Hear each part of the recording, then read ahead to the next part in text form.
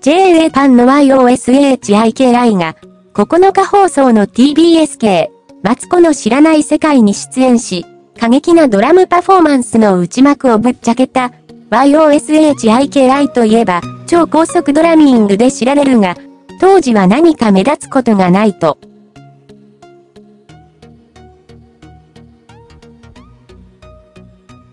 なんかわかりやすいじゃないですか。一番早いとか、そういうのが一個あるとっていうと、戦略的に行っていたことを説明。途中から、これはもう音楽と関係ないんじゃないかぐらいにと、自分でも思っていたという。